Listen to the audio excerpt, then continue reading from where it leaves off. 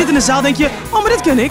Oh, maar dit ken ik ook. Het zijn allemaal toppers, hè? Als je musical fan bent, dan is dit echt een topavond, denk ik. Kwart van belichting, live orkest, jongens, waar vinden het nog allemaal? En zeven fantastische muzikanten. Dat zijn echt showmuzikanten, je moet dat ook. Dat is echt kippenvel.